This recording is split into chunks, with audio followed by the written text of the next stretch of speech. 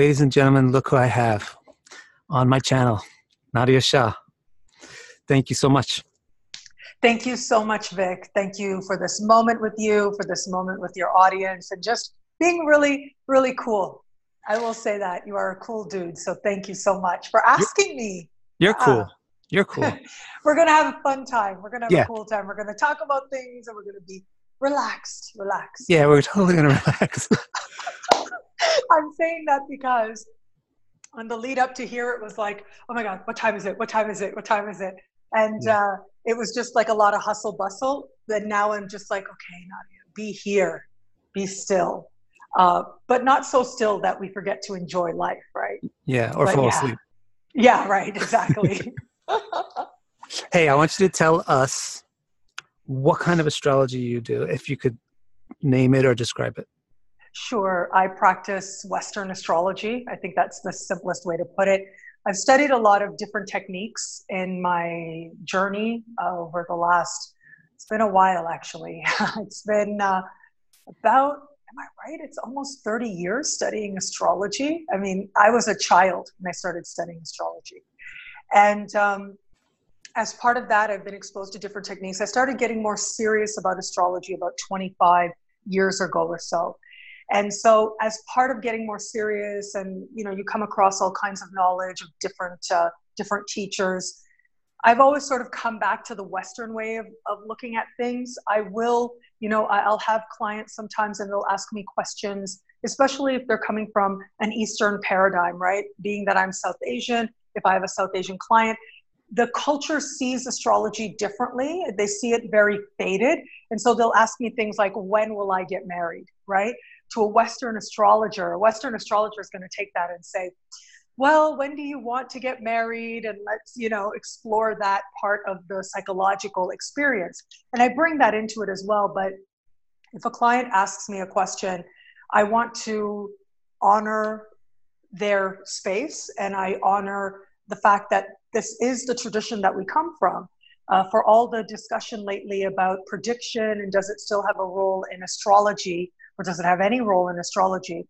This is our tradition, right? This is what the ancients did up until very recently in human history. And still in the East, the astrologers are the priests. And as part of this, we've been intermediary of the gods and we have uh, spoken of what is to come. And so I honor that as well, and I'll incorporate those techniques. But for the most part, uh, I come very much from the Western tradition uh, when we go back in my ancestry and my lineage, I have a lot of uh, people who practiced various forms of esoteric art, but it was definitely the the Western and the evolution of Western astrology that my ancestors were a part of. So it feels uh, very right for me to practice this form of astrology. Okay, I have a funny thing to say, and then I have yeah. a follow up question. Isn't it funny that you're South Asian, but you're practicing Western astrology, but I'm Italian and I'm practicing Indian astrology? I think it's about whatever calls your soul, right? I think that's a big part of it. Yeah. And I think now we are older souls than ever before.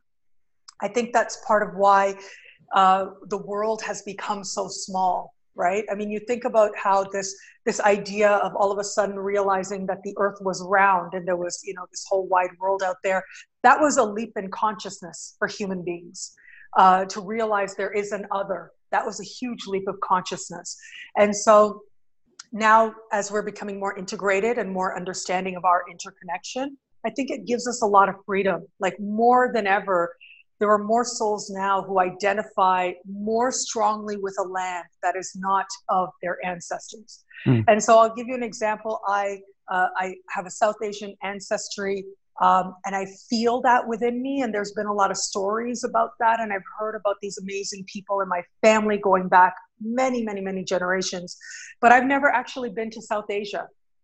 The first time in my life I even stepped on Asia was just 2015. It wasn't even that long ago. It was, uh, you know, when I actually stepped on, uh, stepped on Asian land, and so I identify so strongly as Canadian. Like that's how I see myself, and mm. my values are very Canadian. At the same time, though, when I came to Mexico, I remember it was about six years ago at this time.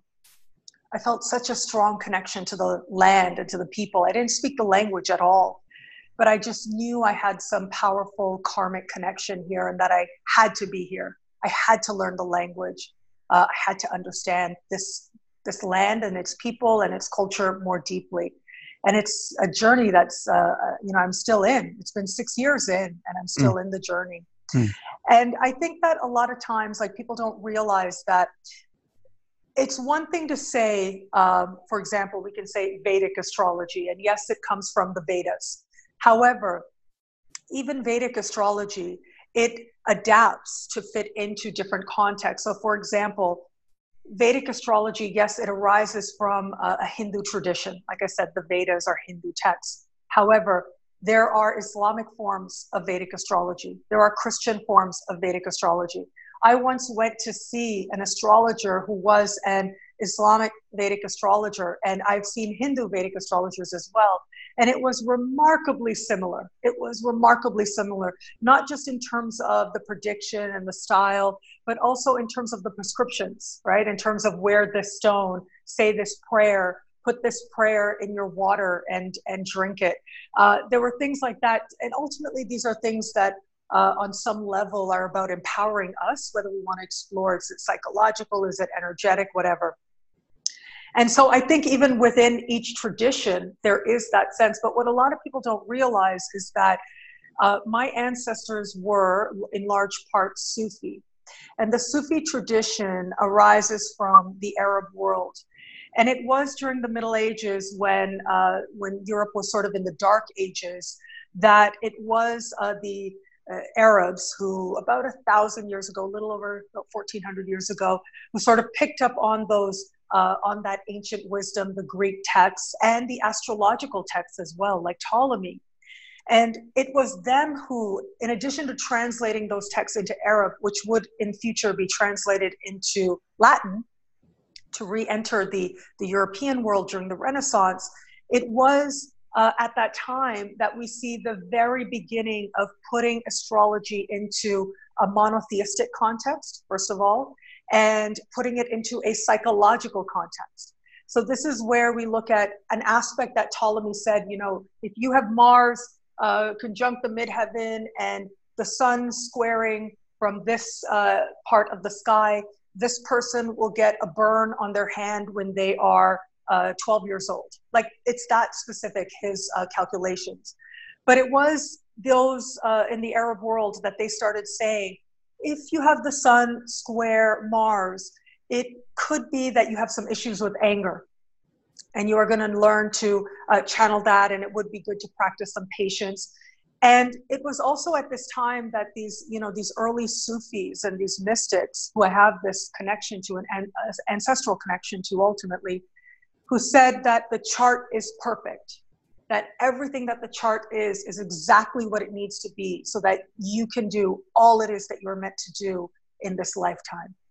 And so um, a lot of times people think South Asian and right away they go to Eastern astrology, Vedic astrology, but there's a very strong tradition of uh, extended immigration from the Arab world into South Asia, into all parts of South Asia. And then there is also this uh, very uh, established history of development that would not have been possible. Western astrology, as we know it today, uh, as a psychological tool, uh, as a tool of empowerment, these ideas actually come from the Arab world. So I wanted to ask you, when you say you you do Western astrology, what do you feel is like the defining hallmark that makes astrology Western? Well, that's a really good question. I knew I was going to get really great questions from you. um, there's a few things that come to mind with this. Um, astrology is a living practice, and it always um, evolves and it becomes what it is a culture needs it to be.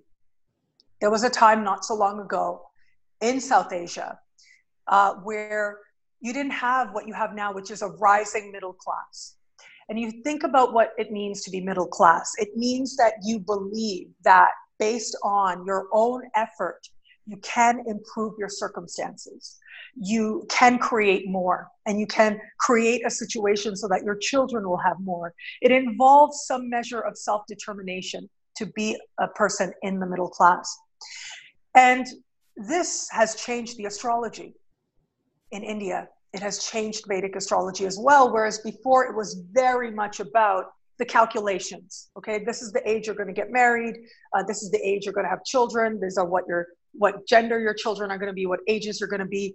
It has now um, started to evolve in very powerful ways. We are seeing this where people are now asking of astrologers, like, what can I do? Right? How is it that I can uh, make myself more available to marriage and, and things like that? And this arises from this idea of the rise of middle class, in my humble opinion.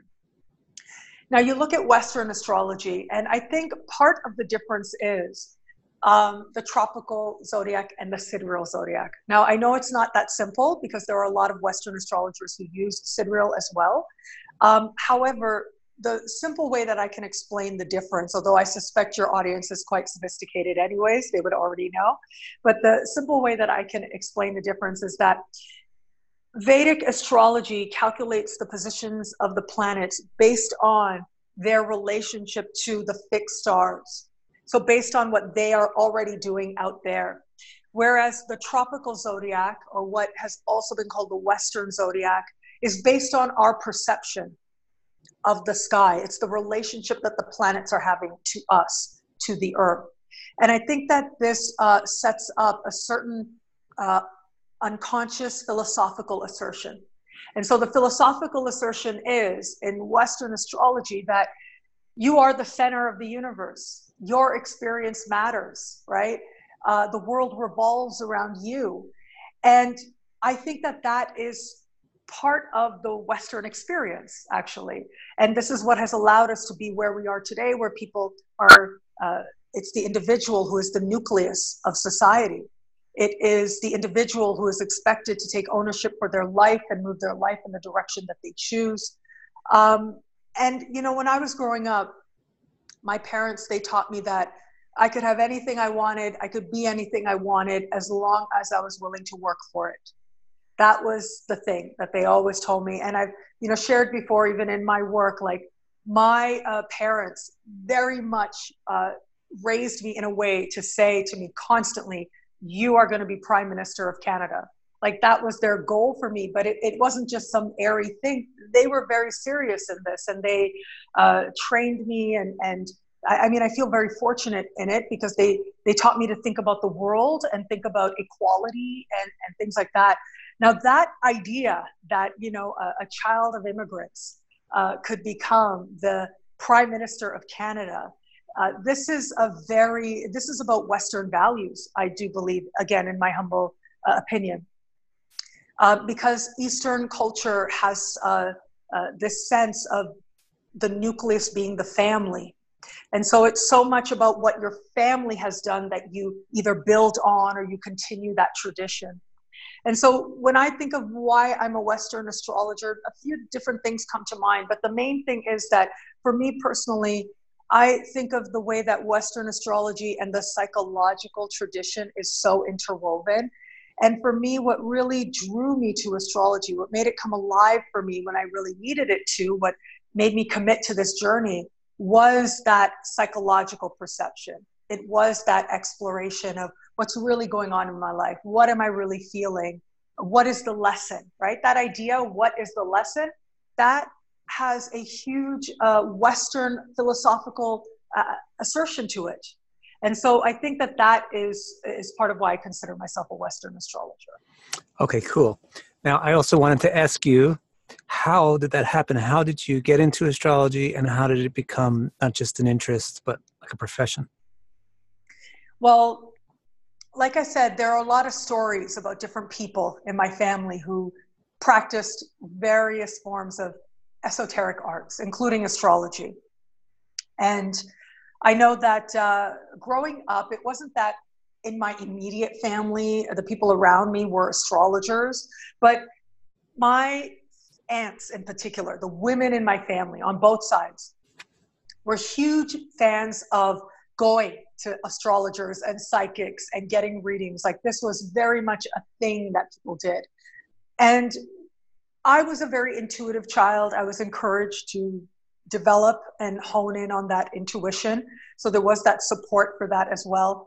But I would think the defining thing that happened for me was that when I was 14 years old, what we used to have uh, back in Toronto, well, we still have this because um, I was born and raised in Toronto, and we have this fair that happens the last three weeks of summer every year. It's called the Canadian National Exhibition, CNE. And I remember what used to happen is they would have like, you would go, there would be a job day, and you would go, and there'd be all these cards up on a board. And basically, you would look at the cards and you would pick cards, and then you'd go walk up to a table the card would tell you and you'd basically like just interview right there on the spot and normally you got hired pretty instantly to uh, get you know a job for those three weeks. And so i remember going and i just went up. I didn't know what i was going for. And like literally they barely spoke to me. They hired me on the spot. And then they gave me a sheet of paper and it had a hand on it and it had all these arrows on it. And it said if this line goes up it's a creative person. If this line goes down it means this. And so basically they they said learn this and come back tomorrow and the next day i was doing palm readings like 25 50 75 a day. I think the one day where i really did the most when i just did over 100 palms in that one day. And yeah so i was working like you know 12 hours 8 hours a day and just reading palms back to back. And people would constantly tell me you're good at this. You're good at this right? They were just always telling me this. And so palm reading yes there's definitely a tradition in my family of palm reading as well but then after that was uh, over what age was that, that my 14 years old so that was a while ago but like i started as a pro like right mm. out the gate and then people started giving me family members my mom my aunt started giving me astrology books and saying, hey, you're going to be good at this. I have a feeling you're going to be good at this. And I decided to pursue astrology for a few reasons. One was it, it just resonated with me, like this idea that as above, so within, right? Like what's happening in the stars connects to my heart. I just love that idea. But the other part of it was when people found out that I read palms, like whenever I'd be out, they just put their hand in my face right away. And I didn't want that. I was like, I don't, I don't want like everywhere I go, people are like, here, read my hand, read my hand.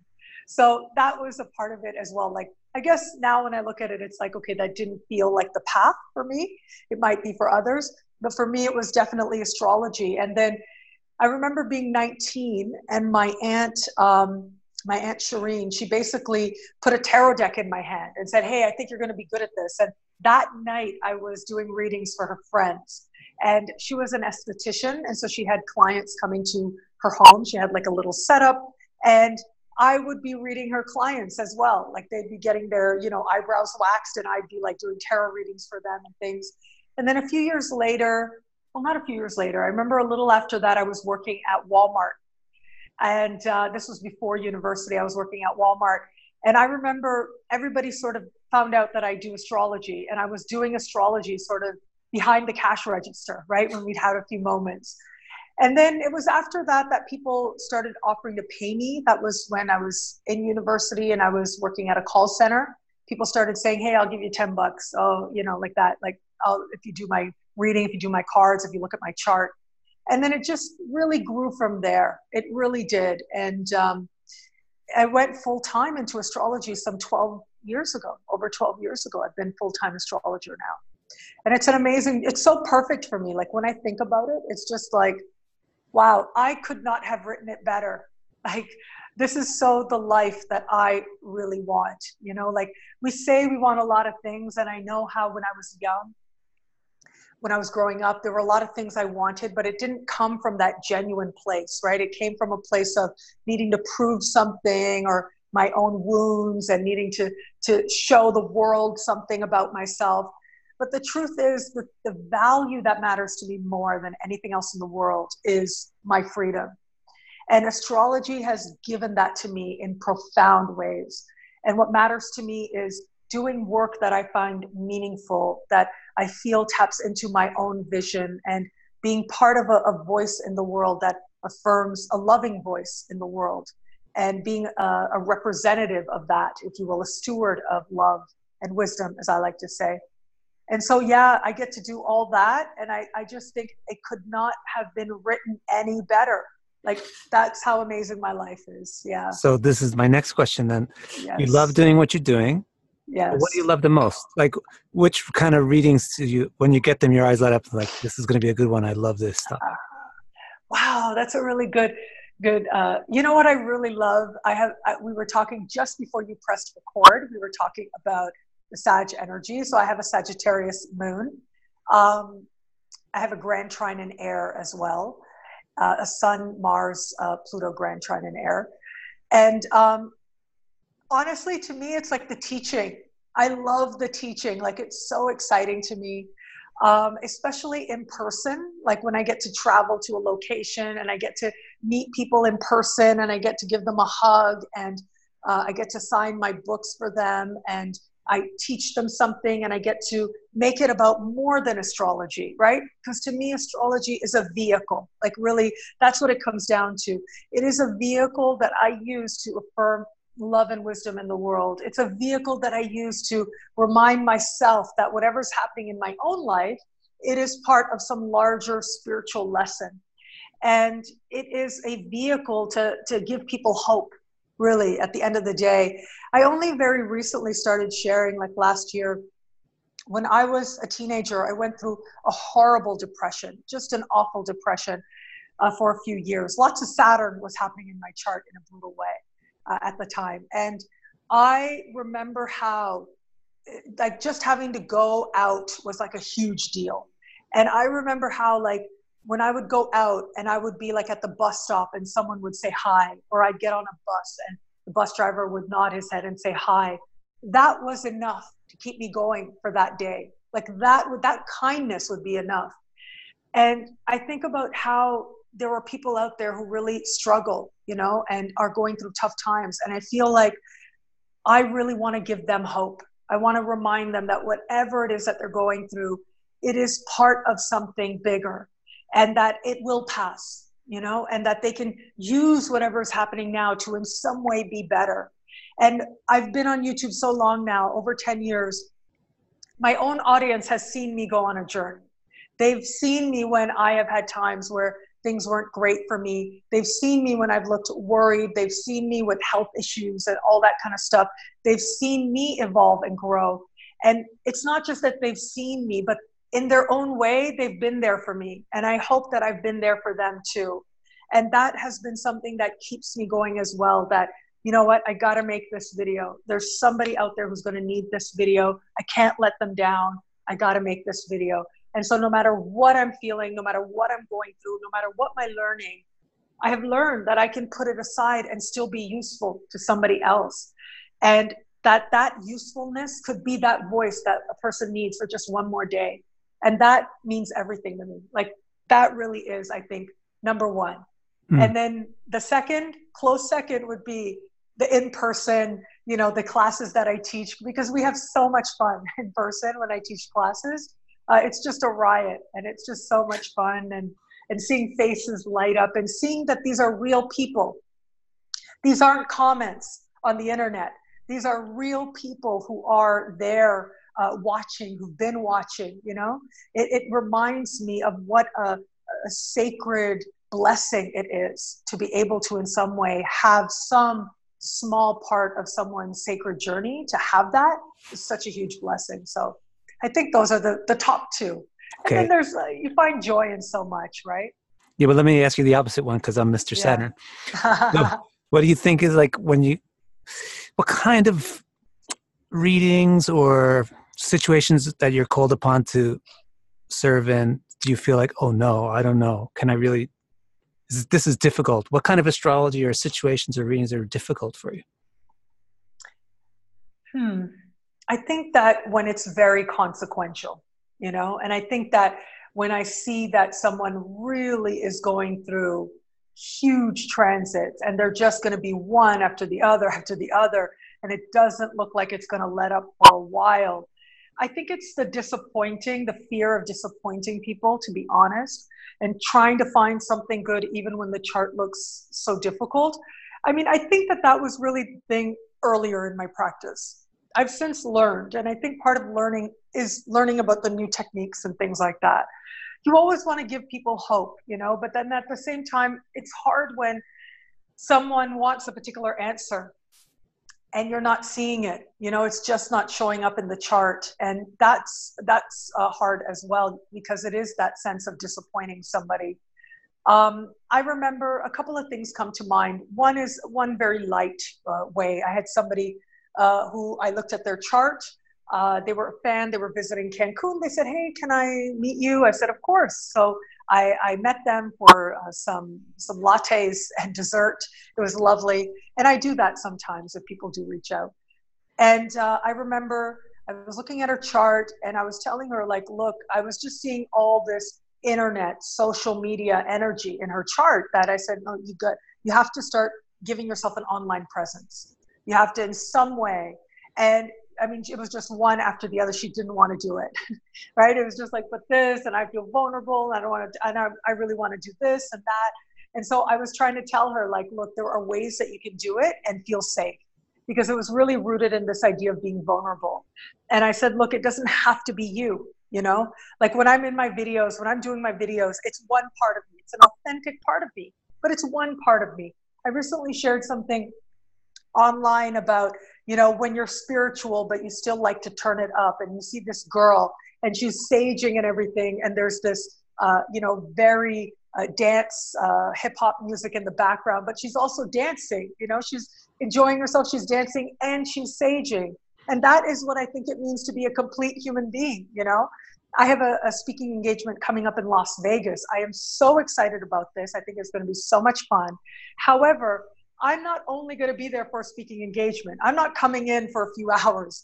I am going to enjoy Las Vegas while I am there. I'm going to fully enjoy Las Vegas. And, well, I don't know about fully, but yes, I will find my way to make Las Vegas what I need it to be. But Las Vegas is not, you know, one of those places where they are necessarily burning sage on the strip. Maybe they are, right? On the Las Vegas strip. But, um, you know, I think that it's you know that balance is part of it as well you know? But um yeah i think that's one part of it. Another part of it i remember once and i've learned to be honest with people about what i see but you know i remember once i had somebody and she hadn't been in a relationship in a really long time. And she asked me about you know when she was going to find a relationship. And you know i looked at the chart and there was just no indication of you know i was really pulling out the techniques here. Like I was really trying to, I mean, I've heard it said that if for something to actually manifest, you should ideally be able to see uh, two or three uh, indications that this is going to happen. So, for example, for relationship, there are a lot of things in the chart that can indicate a relationship. However, um, ideally, you're not just resting on one because I've done that in my early years in my practice. I did that. I saw one thing and I said, oh, you're going to meet somebody. And then the person wouldn't meet anybody. And then I learned, well, wait a minute, what else was happening in the chart, right? Because they could have something that is saying, yes, a person could come, but they could also have something else that is saying, you know, this person is just uh, not ready, or they're going to be distracted, or there's going to be a lot of work, they're not going to have time. Um, and so it's about learning to balance and trying to verify what it is that you see. You know, it's called a judgment when you're making a judgment. But anyways, this woman, uh, she wanted to know, and there was just, I was pulling out so many techniques, and I just could not see anything. Now, maybe that was part of the divine plan for her to change something within herself to make herself available to love, um, or maybe it, you know, was that I'm a human being and I'm flawed, and maybe there was something else that I didn't see. Because we have to approach it with humility. We have to approach the chart with humility, but also trust the moment trust the divination, right? You have to trust that what comes forward is what's meant to come forward in that moment. So uh, there's all these factors, but then I just hated to disappoint her. Like it felt so sad to disappoint her, you know? Um, so I think that was the other, that's the thing that tends to be hard. But I have learned to honor the symbols and to just trust that it'll be what it needs to be. I, I had an amazing conversation with a young lady, and she said how she was at a job and she hated this job.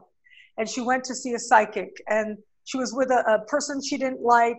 Uh, she was in a horrible relationship. She was in a horrible job. She went to a psychic and the psychic said, He's the best you're ever going to get. Uh, don't break up with him. And she said, uh, There's not going to be any other jobs for you for a long time. Uh, don't leave your job. find a way to get along. And that girl, she must have had a lot of Uranus energy in her chart because she got so mad. She got so rebellious that she said within three days, she changed her whole life. She quit her job, she broke up with the guy, she moved out of their place, and, and she made all these huge changes. And now, like within three months, she was at a job she loved. She's meeting new people. And so her life was just dramatically changed. And I said to her, You know, how do you know that that wasn't exactly what you were meant to hear? You know, how do you know if she had said to you, um, yes, quit that job and leave that guy, you'll be fine in three months? You might have left being like, oh, mm, I don't know, like, yeah, she thinks I could, maybe I could. But this way, it tapped into a different spirit within her. And she went, no way, I am doing this. And she did it.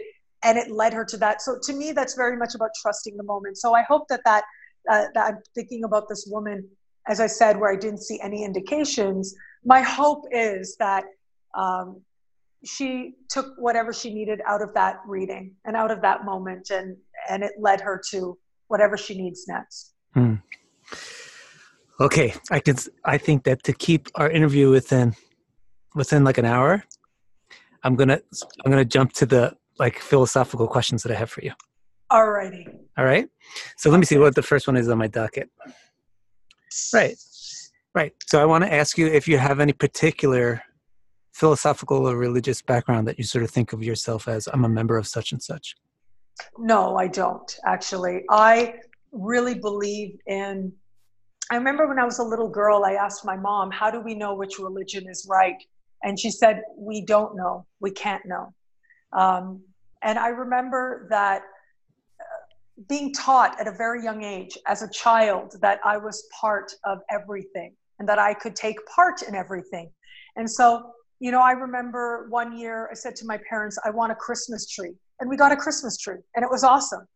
And I remember as a child, of course, growing up, there was a very small South Asian community. And so everybody kind of knew each other. Now, Toronto is like 25% South Asian. If you just start talking to somebody because they're South Asian, it's not going to go well probably you know but back then you really stopped and talked to anybody who was south asian at least my parents did and i remember in the south asian community there are three major religions there is a, a christian minority yes but it's mostly um, hindu sikh and muslim and when i was growing up i went to religious ceremonies and events for all of those religions regularly and i went to a school that was a very uh, an immigrant neighborhood. In an immigrant neighborhood, there were a lot of uh, Greek Orthodox, especially. Um, and I remember as a child participating in different Christian uh, festivities as well, singing Christmas carols and things.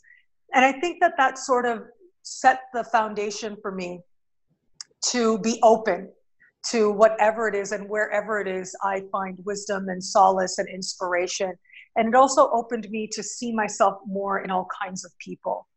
And so I'll give you an example. It was a year, a year and a half ago, I think now, that I went to um, Asia. And it was a huge, like, life transforming trip for me. And I spent a lot of time in Thailand, especially. And I love Thailand because of the temples and the Buddhism. Like, that really does uh, reach uh, something within me. It reminds me of some essential truths. And I went there, and like every day, I went to different temples, and I would sit there and I would, you know, read different texts, like Buddhist texts and things, and I would uh, meditate on them while I was at these different temples. My experience was maybe different than other tourists there, but it was uh, incredibly meaningful to me. I mean, that really was a life changing time for me. Um, I was still making videos on YouTube. I was still doing everything kind of externally, but within me, I was, and always, I mean, we're always on a spiritual journey. But that was very powerful. So that is the most recent thing that's resonated with me very strongly.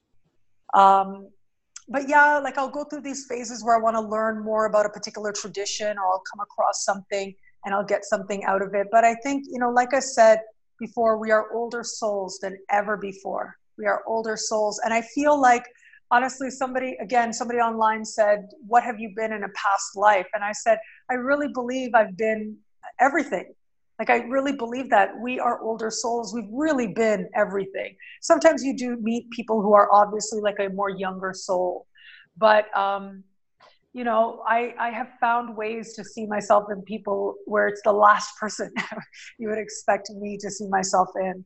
And I think that that empathy is part of uh, what helps us to connect with people and, and have compassion. I think empathy and compassion kind of go together. Yeah. Um, yeah.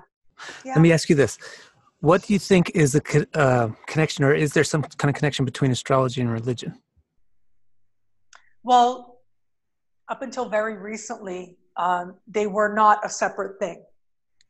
It was the discovery of Uranus that sort of launched uh, this idea, this separation of matter and spirit. And astrology, up until that point, was uh, practiced by uh, religious people, the priests. And to this day, in the Eastern world, it is the priests that still study this. When I was traveling through Asia, I had the privilege of going to a couple of uh, notable uh, Chinese temples. And, you know, I was very surprised. I hadn't known before that there's this whole religion, this whole Chinese, ancient Chinese religion that is still practiced by so many people.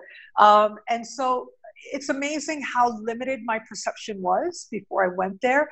But one thing that was really profound to me there was what people were doing was they had uh, they were making offerings they were burning incense and they would say a prayer and then they were doing i ching so they were like literally they had sticks and they were raising them they were practicing i ching and i thought that that was incredible and it was the priests who were there uh, the monks who were there that were guiding people uh, and explaining things or helping people where they needed to um, and i just thought that that was uh, in- incredible when you consider that this is how it has been and I know that we think of the I Ching and astrology as a different thing, but I just see it as divination. And so, up until very recently, even now, like when you go here in Mexico, um, when you see a pyramid anywhere in the world, you're looking at a temple. That's what pyramids are. They are temples. And what would often happen is that the priests would go up towards the high part and would look at the sky and interpret that and bring back a message for the king or whatever as part of what it meant to be a priest. Like, this is what you did. You divined the will of the gods. You interpreted the sky to understand what was going to happen or what the will, a higher will was going to be, the gods or God or however you understand it.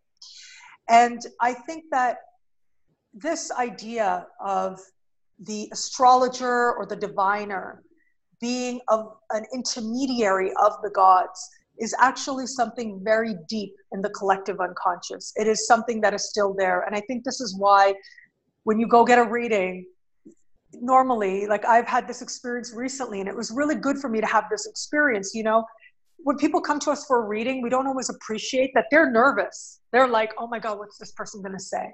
Oh, please say something good. You know, don't tell me something horrible is going to happen. In them, there is that part. It's because on some level, we still feel that the astrologer is the voice of the gods, is the interpreter of the gods. And I had that, as I said, I had that experience recently where I went for a reading and I felt that and I went, this is really good for me. If nothing else comes from this moment, to appreciate what it is that my clients and people who uh, have a reading with me, what they must feel. Um, and to have compassion for that or to have empathy for that, to know that because I've also had people say, I'm f- afraid of what you're going to say. Well, that comes from that collective unconscious part of us that still looks at the astrologer as the intermediary of the gods. And so I think that there is a very long tradition. It was the uh, discovery of Uranus that was this uh, sort of, again, another leap in collective consciousness um, where matter and spirit became two separate things. And there have been great things as a result because up until that point, what you saw in the physical was a reflection of what was happening on spiritual levels. And so, if you had a child and your child was born deformed with a deformity or a, physical challenge, you had people who would go to the top of a mountain and, and they thought that this said something about the spirit of this child born in this body.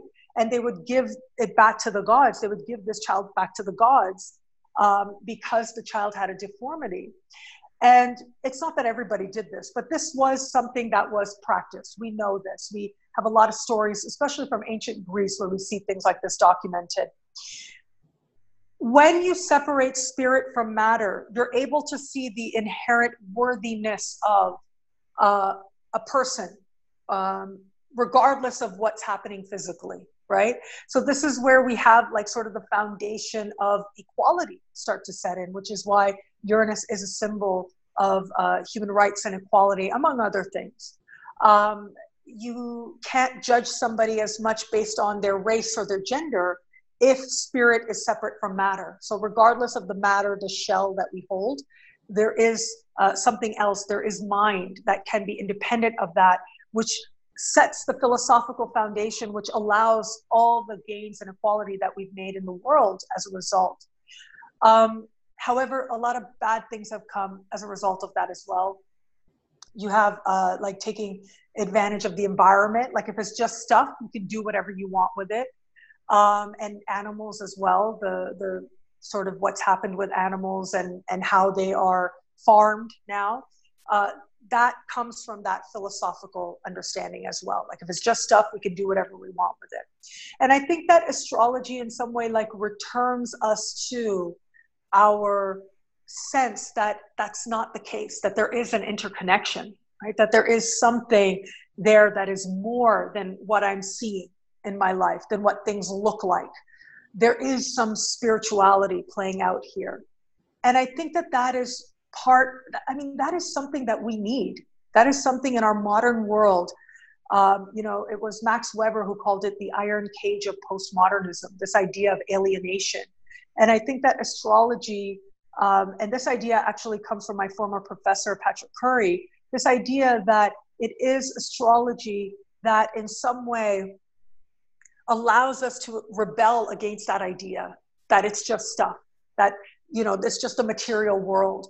It brings spirit back into uh, matter but also it helps us to feel less alienated. We feel less alone because we feel like we're part of the stars and we're part of the moon and we're part of something bigger i think that that's really important that's an important part of it as well mm-hmm.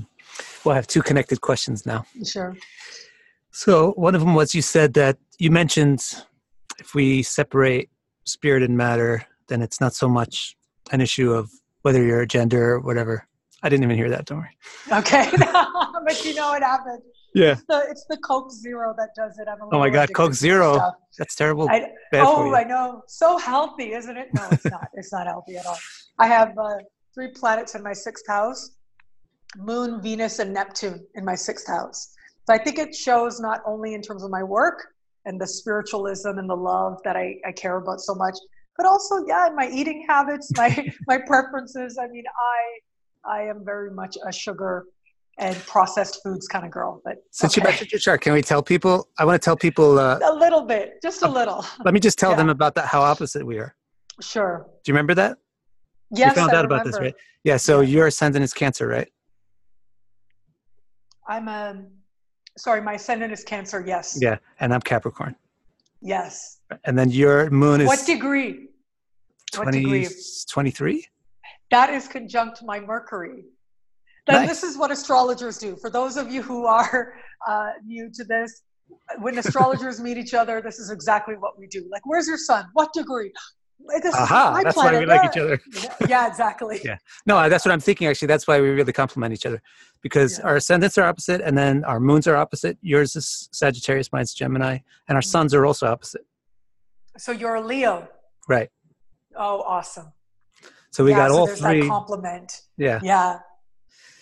Yeah. And I it's really appreciate so, actually when I'm listening to you talking, I'm really feeling like, wow, I wish I could get in more into that mindset because it's I appreciate the mindset because it's right opposite for me in the zodiac. I can see it, but it's not the point of view. My personal subjective experience is so different. It's so much more like work oriented and get this done, get this reading right, and you know, because it's Capricorny and all this. You're sixth, sixth and house, sixth and eighth housey too, like me. Yes. Right? Yes. Yeah. yeah. Anyway, I thought that was interesting. Anyway, let me ask you it about is. this male and female thing. So can I just ask one thing? Yeah. So do you eat healthy? Yeah, I like, do. Do you eat whole, healthy foods and stuff? Well, there's another way that we are opposite. Yeah, but not obsessively. Like I'm not obsessed yeah. with it. I just, yeah. Because of the fact that I actually, I, what I care more about is like animals. Yeah. So I don't yeah. even. I've been thinking a lot about that lately. Yeah. Now that I have a dog, I got a dog earlier in 2018, in the spring of 2018, and I never had a dog before. When I was uh, many years ago, we had a cat, but it was very much my father's cat, basically my parents' cat, um, who I loved very much, Biggie, and he lived a full life with them. Uh, Billy, who was his name. Now my dog is Biggie. A so there's a different Biggie Smalls, yeah, and uh, yeah, and so Biggie has just, I mean, he's changed me in so many ways, so many ways. I mean, I just never anticipated uh, the love that I could feel, the dedication. I, like the tiger mom in me wakes up with him. Nice. Uh, but also to see, this might sound strange to some people, but I see humanity in him. You know, I see like the best that we can be in him, in the love and the dedication. I mean, it, it hurts my heart to see how loving he is. Um, and it's a very powerful insight into the inner child that we all have. I feel like they embody our inner child for us to help us to heal that inner child. Mm. And so, yeah, so when you talk about animals, um, I feel like I'm on a journey with that, uh, mm. thanks to Biggie. Yeah. Okay, so I, I, have to wrap it up because I have an, another point. Okay, sure. But I want to wrap it up with one qu- the last question, like a question I want to finale on. So, okay. What do you think then is the purpose of life? Let's say, like, why should we strive? What are we striving for? What's the goal? Why should we wake up? What should you know? I love that you asked this. Um, I will tell you, when I was in graduate school, I came across, like when I started graduate school, you know, when you start, you sort of have to start thinking about what is your thesis going to be, right? Your the, like your final paper. It's a big paper what is it going to be? And I had started off thinking, I want to write about Pluto. I want to explore that whole under, you know, I, I, had Pluto conjunct my moon at the time. So, of course, I want to write about Pluto. Um, but then what happened was, I remember I was in the library and I came across, because one of my professors, again, Patrick Curry, he said to me, think of the library as divination. Like when you're there, you're just meant to be open to whatever wisdom and knowledge is meant to find you. So let it find you as it needs to and know that you're ready for it. It's the perfect time. And, and listen to your intuition as you're guided towards different wisdom. And so I was in the library and I came across this book called Whoso Knoweth Thyself by Ibn Arabi, who was an early, one of the early Sufi mystics. Um, and I remember it was a little book, little essay, and I sat there on a stool in the stacks, as they call it, in the middle of all the books. And uh, I read this book cover to cover. It was a small essay. And I had an experience when I read this book. It was, it was almost as if everything I went to through just to be there at the program, just to be that year in England, it was for that moment. It felt like that. And basically, the, the complete idea is whoso knoweth uh, thyself knoweth thy Lord. And what that means is to know yourself is to know the Creator.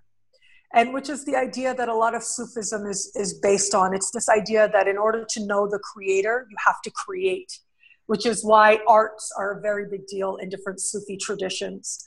Um, but Ibn Arabi is most known for what he calls the magnificent breath. And so I ended up, just a little side note, I ended up writing my whole thesis on his work. And you can actually read that on my website. It's called Unity of Being. So the whole thing is there if you want to, you know, if you can tackle the academic writing that I had to do at the time uh, and make your way through it, because it can be a little bit, um, you know, it can, it can change the energy if you're not used to it right it, it, becomes so intellectual but hopefully you know people will be able to access that with heart but it's there and anyway, so uh, I ended up doing that. So I feel kind of like I have this uh, agreement with his soul that whenever I get an opportunity to talk about him, I will talk about him because he really did shape who I am today as an astrologer in uh, so many different ways. I will always be very grateful to his soul for that and his work for that. Uh, our work makes us immortal. I do believe that. Uh, these videos, this interview that you're doing, it'll be in the world really forever as long as there's human history there can be this this interview and somebody 100 years from now 200 years from now could come across this interview and be changed in some way. It could be exactly the message that they need in that moment. But, anyways, his idea about the magnificent breath is this that he said, every longing, every ache, every yearning, every joy, every elation that your heart feels is another way that God experiences itself in a way that it would not have had you not be there to experience that exact uh, emotion, that exact elation, that sorrow, that joy. And I was so moved by this because the idea of the magnificent breath is that God isn't this static thing, right? It's essentially an energy that is growing, that is expanding, and it is through us that this energy gets to expand. That is the breath, the magnificent breath that keeps growing more and more. And I call it love and wisdom. That's what I like to call it because I care a lot about inclusive language, first of all, and because I am an inclusive person. That's how I uh, conceptualized it. He was saying in his writing God, but I understood that he was talking about something that is beyond our intellectual or written concepts of a, a higher being he was talking about an energy, again, that I call love and wisdom. And I believe that we are here to be part of that magnificent breath. We are here to expand the energy of love and wisdom in our own life. And we don't always appreciate it when we're in the middle of our own emotions or getting caught up in a particular moment. That that moment is sacred. You know, when you think about the ancient Greeks, you know, they appreciated this idea that all of life is sacred. When they walked along in the world and they felt a strong emotion, they said, Oh my God, this is a strong emotion. This must be a God. And so they had gods for everything that you could feel, everything that you could experience had a different God. And in this way, it was a reminder that all of our human experience is sacred. And so I feel like the reason that we are here and the reason that all of us are actually here, regardless of how it seems on the surface, regardless of how much people hide it behind pain and anger uh, or whatever, ultimately, we are all here to move ourselves towards greater love and greater wisdom, to be part of that magnificent breath, part of the expansion of the energy of love and wisdom in the world. Um, that I do believe is the meaning of life, but we find it in our everyday experience. It is the everyday experience that helps us to embody God um, in a way that God would not have been able to had we not experienced that emotion. I love it. Did you have fun? Did you relax? Yes, I'm relaxed now. I you didn't have to enough. use your fan at all. no, I didn't. I started out with this fan. I was here. Hi, Vic. Okay, thank you so much. I was, I like thinking, God, that's a beautiful fan. Is it Mexican? Thank you. I think I bought it in Mexico, but it might have been from the Chinese store. Uh. Yeah, because I have really been getting into feng shui a lot and learning a lot about ancient Chinese mysticism. It's just really been calling me very strongly lately. So I'm on a journey with that. Not ready to necessarily put it out in the world or make videos about it just yet, but I feel very much on a journey with that. And uh, so yes, I, have been going to the. There's one Chinese store in the all of Cancun, and I've been there probably more than than most people. Um, and I discovered a few new ones in Mexico City. So before I go to Vegas, I'm going to Mexico City as well. But yes, it's Mexican. I think the Mexican design is a little bit different. It's more embroidered. Huh. Um, I don't have it necessarily available at the moment, but it's more embroidered. But a lot of what you see here, it has to do with the, the different Chinese uh, mythologies. That's great. Thank I need you. to hang out with you more because you're everything's yes. opposite from mine. So you got everything. Uh, you know what I mean? I need to yeah. get Nadiya Shah rubbed Your off. background is so beautiful. The Thank background, you. there's like, is that like sculpture and things? It looks yeah, incredible, like wood. wood. Carved wood. Oh, it's incredible. And so you live in India. I know no, that you said you want to no, wrap no. it up. Oh, I wish I live in Japan. Oh, that's incredible. It's close closer to India than America, but it's not quite India. India is a little bit too dangerous to live in. Right now, yeah. Oh, I hope. no, it's just better. like I have three yeah. kids. Uh, yeah. And I, Japan is entirely safe. Yes. Very organized, law-abiding, yes. safe, and India is very lawless and wild. So I wouldn't uh, really want to take three kids to India to raise them. If I was all by myself, then I would probably would have wound up living in India. Yeah. But I'm close enough. But here. I know a lot of people have lived in Japan for an extended period of time. People in my family Yeah. uh, who've lived in Japan. Uh, I have a cousin who uh, went there to teach English and he ended up marrying someone in, in Japan and now he has children. He's been there for like 20 years now. So a lot of people love it for a lot of reasons. But I think that wherever you go, it's like there you are, right? And so wherever you go, it's like whatever you bring to it, you'll get out of it. And Japan has so much of all of it. It has a lot of capitalism, it has a lot of technology, uh, but it also has a lot of spirituality. It has this very rich tradition of beauty and simplicity and uh, understanding the essential nature of all things. And so it's a it's a profound place for sure. But So they when you actually come and visit, when are you going to come visit? Yeah, I should come and visit soon. Yeah. I I've, I've been invited to speak at an astrology group in China. Right now, you may not know this, but right now, China and Canada are having some very interesting back and forth. So when it calms down a little bit, I will plan uh, an Asian trip. I promised my father I would take him to Egypt. Uh, and so I'm hoping that that comes about this year, late this year. Hmm. And if that does, then I'll shoot over to Asia. And yes, we can do something in person. That would be Yeah, amazing. that'd be I can- great. I can see that carving in person. That would be awesome. Okay, awesome. awesome. You'll Yeah. laugh when you see it in person. Yeah. Okay, Thank you, Thank you Vic. so much. Thank you, everybody. Thank you. thanks. Bye bye. Bye.